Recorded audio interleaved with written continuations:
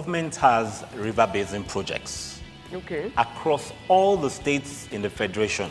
You pay the money, they prepare the land for you, they ask you what do you want to plant. It's as simple as I'm talking about it. I have some secret formulas I use for some of my products. It works very well. I put one of the best asthmatic products. It's organic. I'm not a pharmacist. You are. But you can also bring that value chain into it using IT. Essentially, what he's told you is there are opportunities around you everywhere, even within the agro allied. Without you owning land, without you planting anything, your degree is information. After you get the degree, say thank you to your parents, give it to them. Use part of the information you have, but get whatever else you don't have.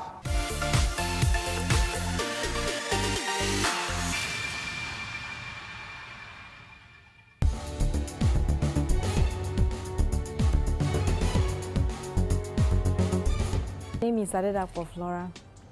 I'm a graduate of accounting education from the University of Ado-Ekiti. I'm also a caterer.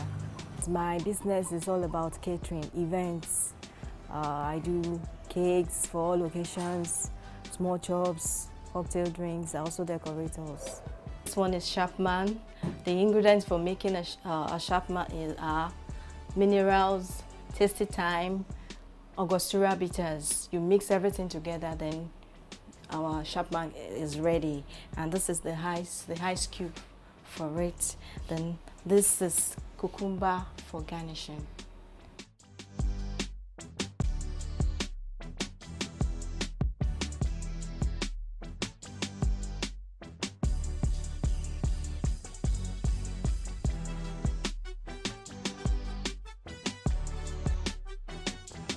Put straw.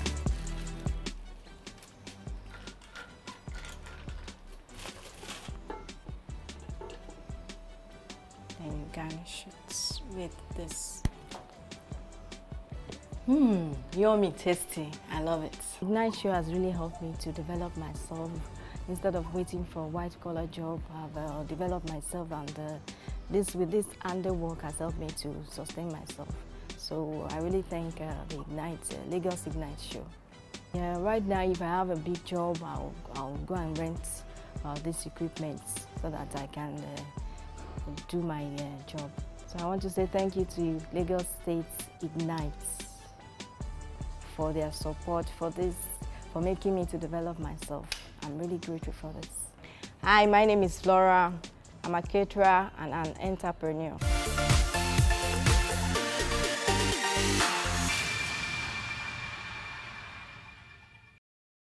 What do you need to take your business to the next level? Expert advice? Affordable financing? State-of-the-art technology? A partner you can trust. At First Bank, we can help with that. Visit sme.firstbanknigeria.com to find out how we can help you grow your business. First Bank,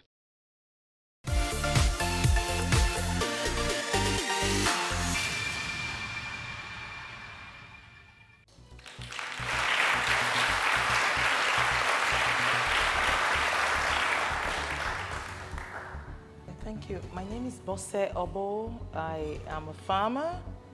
I'm an agriculture consultant. I'm an agricultural trainer. I am an agro-tourist. And I'm a food processor. And I'm a fresh fruit juice maker. I had my first degree in agriculture in a Nigerian university. But I was there because I wanted to do something in agriculture. And that was when I came out, I worked briefly um, with a bank, one of the new generation banks then. But I knew I couldn't just sit down in an office. I wanted to be on the field. So eventually, after one and a half years, I went out of, you know, the bank job and I went to do my own farm. And I've been a farmer all along. But somehow, you know, parental um, acceptance and guidance helped me because then I knew I wasn't going to work for anyone. I wasn't going to, uh, not because of the salary, not because I wanted to be independent, but because I saw a lot of lapses, you know, in the agricultural value chain, in the food value chain. And I said, no, somebody should just come up and do something. And that was, you know, what gingered me. That was the passion, what I had that made me go into agriculture. And um, when I started as a farmer, I saw that it shouldn't end there. Because as a farmer then, I grew cassava, I raised chickens, I raised um, fishes, I raised snails, I did apiculture, which is honey, bee production, I mean honey production. I saw that just raising these things or growing these crops and selling them into the open market were not fetching me, you know, good deal. And I went into processing. And that's what I've been doing for um, over a decade now, and it's been very fantastic.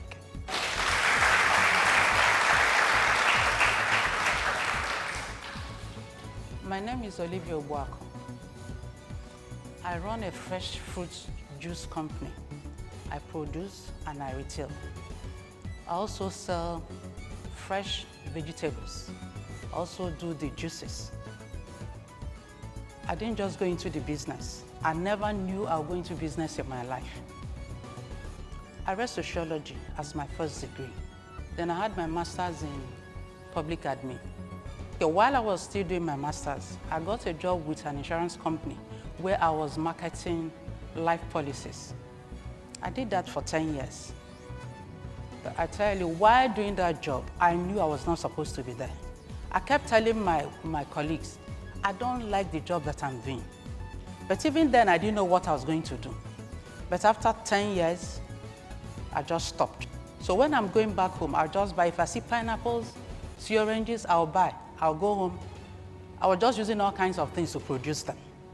I was using cloth, I was using my sieve in the kitchen, I was using a lot of things. As of yesterday, when I was driving back from my shop, I was telling my, my in-law that was with me, I said, do you know this business I'm into today? It has always been in me. It's just that I never really knew what I wanted to do, but it has always been there. Because I'll be walking, if I see fruit, if I see vegetables, ah, God, I just love it. So what I did, somebody now one day and said, why not start selling in the church? Remember, I have not seen anybody selling juice before. I didn't even know there's a machine that you can use to produce these juices. So what I did, I had small kitchen blender. I will now blend my pineapple. When somebody said I should start selling in the church, after about so many months, I now decided to take a step of it. Then I now use that kitchen blender, blended the, the pineapple, then use cloth to squeeze it. This one took me almost one hour to produce just one small pineapple. But I was happy. You know, the, what, what I found out was that whenever I was doing the juice then, the kind of joy that used to come upon me, I couldn't just express it. I couldn't explain it. So I just kept, so what I did that day, I decided, okay, let me just take two bottles to church and see if anybody will even buy. We had a program in the church and they said we, could, we should bring things to the church. And I brought the two bottles. I gave to the guest minister. The guest minister drank it after the, after the program. Somebody said, who brought that thing in Eva bottle? It tasted like pineapple. You know what I did? I just added a little bit of ginger. So the woman said, please, can you, how much do you sell them? That, you know, I just, I used 100 naira to produce it, so it didn't really mean, I said, 500 a bottle. I just said 500. The woman said, can I have two bottles? So I just used 100 naira to produce two bottles of pineapple juice, and I got 1,000. When I found out that that woman liked it, the following Sunday, I just went to that Ketu market. You know, I was living in Ketu, so I just went to the market, bought, I think, uh, pineapples worth 300, 300 naira. Then I produced, I got about, um, maybe, I can't remember, but about 15 Eva bottles. Then fruits were very cheap. So I now took it to the church, put it in the boot of my car. After service, I just told few people, I'm selling fresh juice, so please come and buy. You know, open the boot. I had about 15 to 30 bottles. Before I knew it, I just sold everything. The big Eva bottle. Then somebody now came and said, does it mean if you don't have 500 now, you can't buy this juice? I said, okay, next week I'm going to bring the 75 CL. Then I brought it down to 250, half the price. That was how I started selling. Every Sunday after service, I open my booth and I sell. Within 30 minutes, I finished my business. I did that for a year. I got tired. And I rested. I rested for another one year. I rested for another one year. A husband came back, he went to work, came back and said, that woman that bought that juice then, two years ago or thereabout, said, why has she not continued that business? Why did she stop? Then I just knew it was a confirmation to start again. So the following week, I just started. You know what I did? I now started going to factories to get, I, I didn't want to now start going to pick bottles again. So I now went to factories, looked for smaller bottles so that everybody could buy. So I started producing in 35 cl. Remember then, I had not seen somebody doing it. Then one day I went to the market to buy my fruit. I was just where I was buying my pineapple. I saw one lady standing. She also was buying pineapple. And I said, excuse me, ma, please, what do you do with your pineapples? She said, I make fresh juice. I said, uh, where? She said, somewhere in VI. I said, uh, do you have a juicer for it? She said, yes, but it's small, it's not big. I said, uh, please, can I come and visit you? She said, yes. Ah, I said, this is the answer to my prayers. So the full, after a week, I went to her shop. She showed me one orange machine. She said it's over 600,000. I screamed. She said, I will help you. I said, how? She said, when I travel next, I'm going to bring some machines in. I'll give you. Pay as you like. At the end, she gave me one orange machine that I'm still using today, one small machine. She had four. She just said, take this.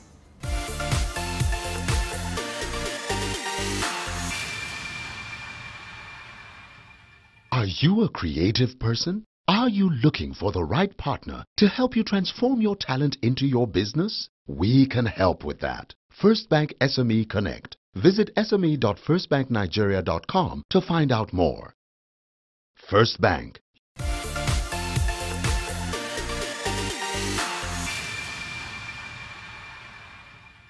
In agriculture that I do, like I said, I'm into planting of the crops.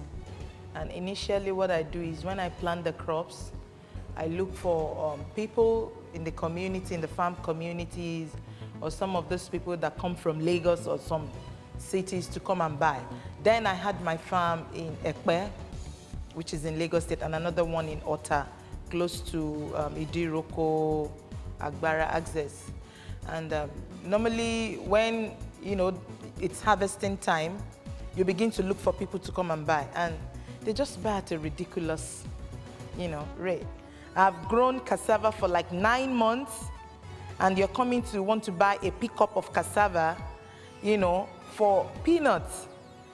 And more so, what I was doing, because I decided I just wanted to do things one differently and I wanted to do it the right way. So I decided that how much are they selling cassava? I mean, how much are they selling gari outside?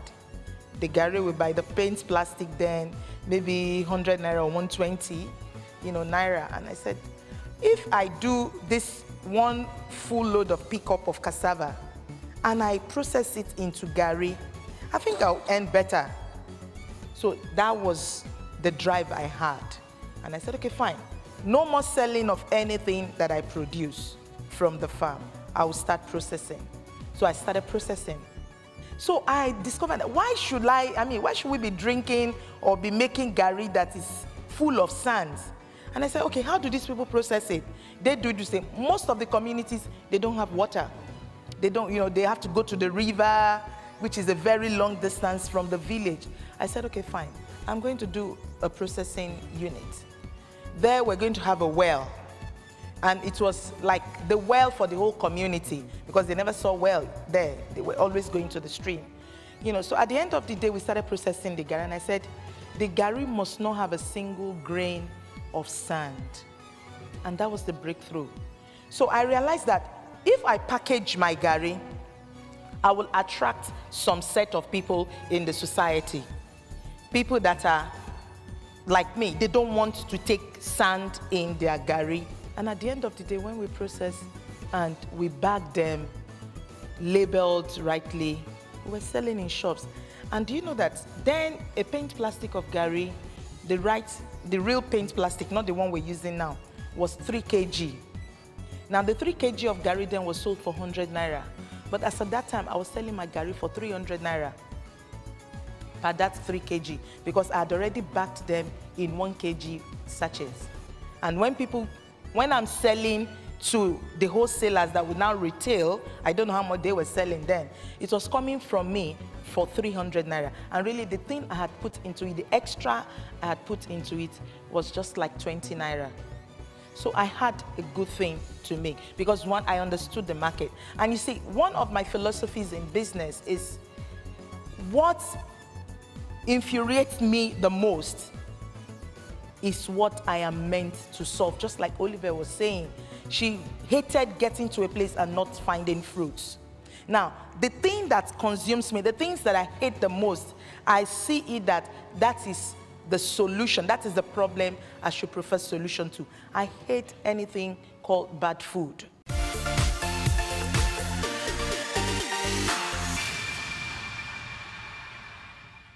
Do you want to grow your business by selling to people in different ways? We can help with that. First Bank SME Connect. Visit sme.firstbanknigeria.com to find out more. First Bank. Are you a Nigerian?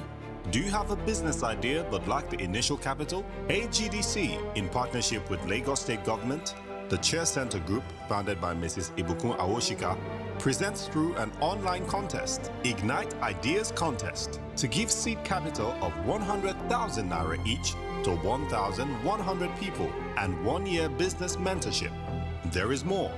You also get access to credit facility from one of the biggest banks in the country. All you have to do is log on to www.igniteideas.org to register and fill the application form. You should also follow them on their social media pages. Facebook, www.facebook.com slash Ignite Ideas Contest. Twitter, at Ignite Contest. Hurry and give your business ideas some life.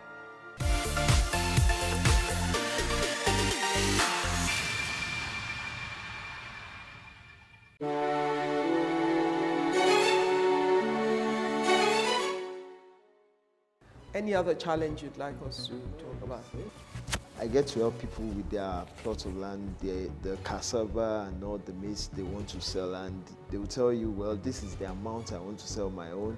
This is how Mr. Lagbaja helped me with it and you're about like, ah, but this is the factor. One plot for this amount uh, is 0.5 hectares for this amount and that is how it's supposed to be.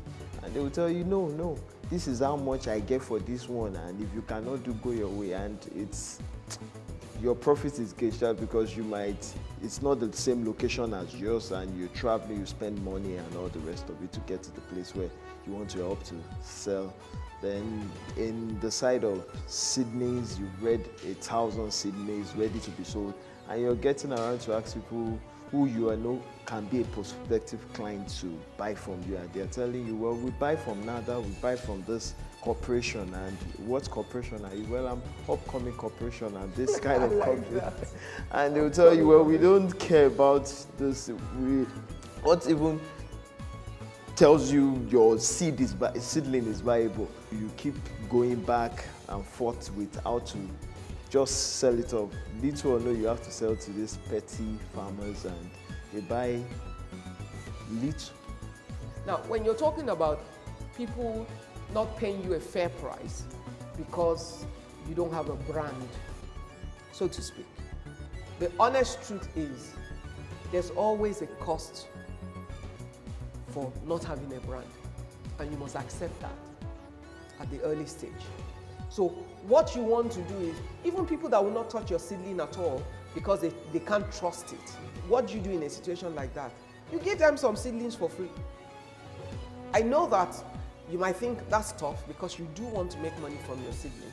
But consider it your initial cost. Consider it part of your cost of doing business at the beginning. Because when you gain their confidence, you will ultimately generate the returns from them. But you need the acceptance first. So you can say to them, okay, I understand that you don't trust my seedling, but I'm willing to give you this one kilo of seedling, this 500 grams of seedling. Plant it, compare it with the ones that you've bought before. And if you find that it works and that it's good and it meets everything that I've said, would you buy from me next time? They'll probably say yes. To prove you wrong, they're going to try it because they're not expecting to get the result.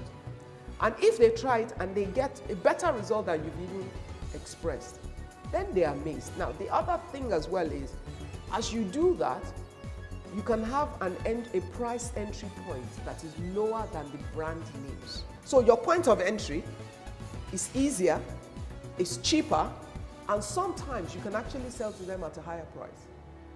Because they can't buy from the big guys, and it's small guy to small guy. They also pay you immediately.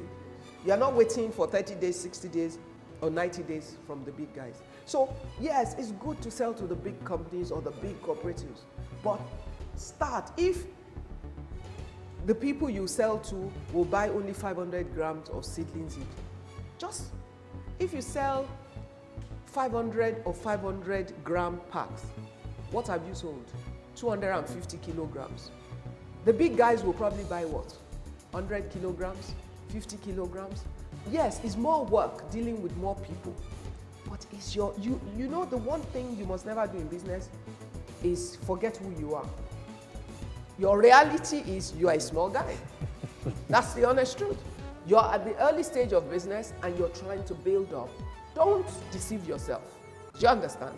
But that big place you are going to is your long term goal. Facing the reality of who you are now allows you to define your market. Also allows you not to waste a lot of time and resources chasing after places that are more difficult for you to get into. You know why? If you sell to 50 small guys, when you get to the big guy, they say, what's your track record? You have 50 names on your list. But if you're already servicing all of them, the important thing is you have proven that your seedling can work. Do you understand what I'm saying? So, as small businesses getting started, the key thing is you want to establish yourself. Build while nobody is looking. By the time you've helped the small guys to become big, the big guys will try to sell to them, but they will be used to you already, so they're not going to go to them. Do you understand what I'm saying? So that's the way to remove that stumbling block of all. Offer some free seedlings. It's a short-term cost for a long-term gain. Two, go after the low-hanging fruits first. Gather all that market because their aggregate number gives you a higher value sometimes than the one big guy that you spend 10 months trying to sell one bag of 100 kilograms.